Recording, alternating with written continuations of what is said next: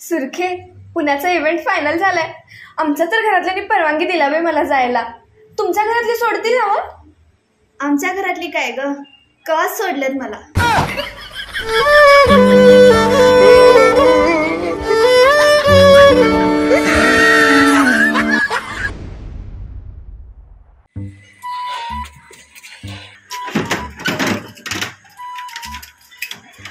एक दो तीन चार पाच छः सात आठ नौ